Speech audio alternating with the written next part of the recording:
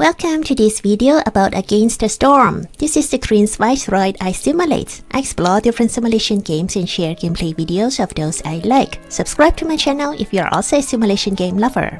In this episode, I'm starting a new settlement on the Pioneer difficulty.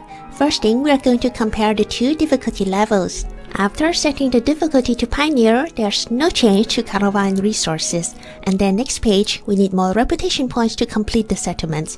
That said, we earn more rewards and experience points. The modifiers, we will have to deal with two more negative modifiers on Pioneer difficulty. Okay, let's get started. The forest mysteries say that we gain 30 insects for each discovered glade in drizzle season.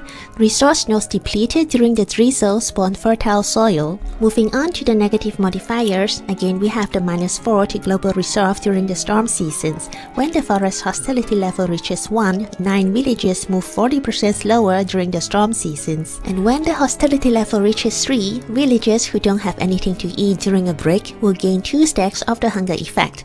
Also, resources sacrificed in the hearth burn 40% quicker. I will try my best not to let hostility level go up to 3. We have lizards and harpies in our settlements. Harpy firekeepers can teach villagers how to be more nimble and agile. Global carrying capacity is increased by 5. This is good, but still I prefer a lizard firekeeper who can boost global resolve. On Pioneer difficulty, we need 14 instead of 12 reputation points to win. The challenge does not end there. We will only be given 11 orders. On Settler difficulty, we used to receive 12. The first two sets of orders, I pick those who either reward more villages or tools, because at the beginning we don't have enough workers, and with tools, we can open caches containing reputation points. In the second year, we discover a dangerous glade. It has a small destroyed caravan. This is a special glade event. The threats will not be removed after the glade event is finished. That means traders will not visit and trading is not available. We are on our own here. Another threat is one full impatience point. Lovely!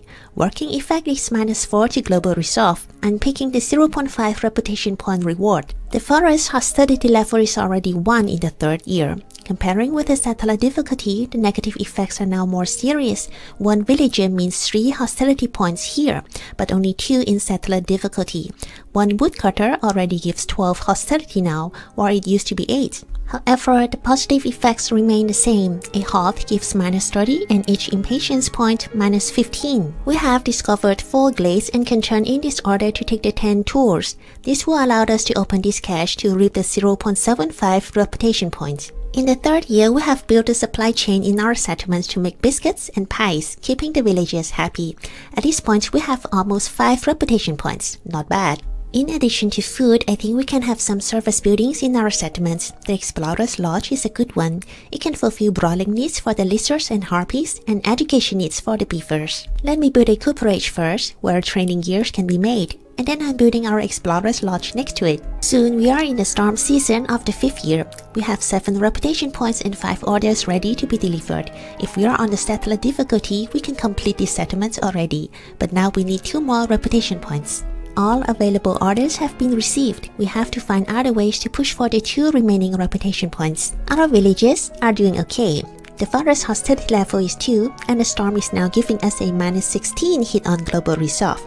Good that nobody's resolve is dropping to 0 yet. After the storm, the village's resolve is bouncing back to normal, and we discover another dangerous glade.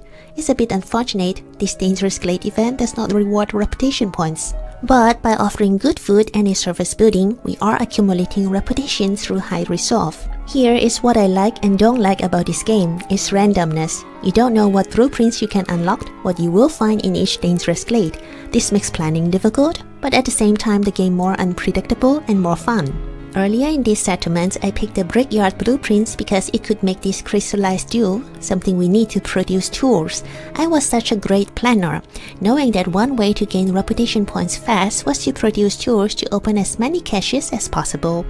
And then I didn't come across blueprints of any building that can make tools, so a lot of caches remain closed until the 6th year when I have 11 reputation points and 3 orders ready. Now let us complete these settlements. As we have a difficulty modifier 1, our score looks much better this time. We gain a slight smile from the queen because her impatience stayed below 6 for the game. First time on Pioneer difficulty and completing a settlement within 6 years. I hope it's not too bad. This time I'm purchasing this Obsidian Archive level 5 upgrade. It will allow me to pay Amber to reroll blueprints, meaning I have more chances to unlock blueprints I need. Two upgrades further, the Obsidian Archive level 7 will unlock factions. It will be new content and a lot of fun. Okay, I hope you enjoyed this video as well as the game. Stay tuned and enjoy Against the Storm. See you next time. Take care.